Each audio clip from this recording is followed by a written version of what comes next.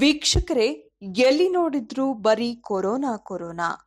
ಈ ಕೊರೋನಾದಿಂದಾಗಿ ಇಡೀ ದೇಶವೇ ನಲುಗಿ ಹೋಗಿದೆ. ಸಾಕಷ್ಟು ಜನರು ಸಾವನ್ನಪ್ಪುತ್ತಿದ್ದಾರೆ. ಹಾಗೂ ಇನ್ನೂ ಹಲವರು ಸೋಂಕಿನಿಂದ ನರಳುತ್ತಿದ್ರೆ, ಇದರ ನಡುವೆ ಜೊತೆ ಜೊತೆಯಲ್ಲಿ ಸೀರಿಯಲ್ನ ಖ್ಯಾತ ನಟಿ ವಿಜಯಲಕ್ಷ್ಮಿ ಅವರಿಗೆ ಹೃದಯಾಘಾತ. ಅರೆ, ಏನಿದು ನಟಿ ವಿಜಯಲಕ್ಷ್ಮಿಗೆ ಹೃದಯಾಘಾತನ? ಅಸ್ಲಿಗೆ ನಡೆದ ನಿಜವಾದ ರೋಚಕ ಘಟನೆ ಏನು?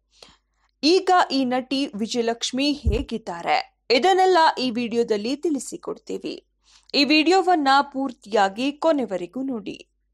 ಅದಕ್ಕೂ ಮುನ್ನ ವೀಕ್ಷಕರೇ, ನೀವು ಕೂಡ ಜೊತೆ ಜೊತೆಯಲ್ಲಿ ಧಾರಾವಾಹಿಯ ಅಭಿಮಾನಿಗಳಾಗಿದ್ರೆ ತಪ್ಪದೆ ಈ ವಿಡಿಯೋವನ್ನ ಲೈಕ್ ಮಾಡಿ.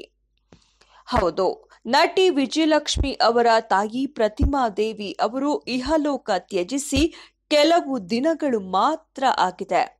ಅವರ ನಿಧನದ ದುಃಖದಿಂದ ಹೊರಬರದ ವಿಜಯಲಕ್ಷ್ಮಿ ಅವರು ತಮ್ಮ ತಾಯಿಯನ್ನ ಕುರಿತು ಭಾವನಾತ್ಮಕವಾಗಿ ಮಾತನಾಡಿದ್ದಾರೆ.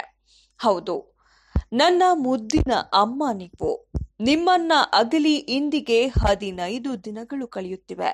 ನಾನು ಹುಟ್ಟಿದಾಗಿನಿಂದ ಇಲ್ಲಿಯವರೆಗೂ ನಿಮ್ಮನ್ನ ಬಿಟ್ಟು ಬೇರೆ ಇರಲಿಲ್ಲ. ಈಗ ನೀವು ಇರದ ಜಗತ್ತು ನನಗೆ ತುಂಬಾ ಕಷ್ಟ ಅನ್ನಿಸ್ತಿದೆ. ಆದರೆ ನೀನು ನಿನ್ನನ್ನ ಬಿಟ್ಟು ಬದುಕೋದು ಹೇಗೆ ಎಂಬುದನ್ನೇ ಕಲಿಸ್ಲಿಲ್ಲ. ಇದೀಗ ನಿನ್ನನ್ನ ಪ್ರತಿಕ್ಷಣ ನೆನೆಸಿಕೊಂಡಾಗಲೆಲ್ಲ ನನಗೆ ಹೃದಯಾಘಾತವಾದಂತೆ ಆಗುತ್ತದೆ ಅಂತ ನಟಿ ವಿಜಯಲಕ್ಷ್ಮಿ ಅವರು ಬರೆದುಕೊಂಡಿದ್ದಾರೆ. ಇದೀಗ ಈ ವಿಷಯ ಸಾಮಾಜಿಕ ಜಾಲತಾಣಗಳಲ್ಲಿ ವಿಜಯಲಕ್ಷ್ಮಿ ಅವರಿಗೆ ಹೃದಯಾಘಾತವೇ ಆದಂತೆ ವೈರಲ್ ಆಗುತ್ತಿದೆ. ಏನೇ ಆಗಲಿ, ವಿಜಯಲಕ್ಷ್ಮಿ ಅವರು ಆರೋಗ್ಯವಾಗಿರಲಿ ಅಂತ ನೀವು ಕೂಡ ಬಯಸೋದಾದ್ರೆ ತಪ್ಪದೆ ಈ ವಿಡಿಯೋವನ್ನ ಈಗಲೇ ಲೈಕ್ ಮಾಡಿ.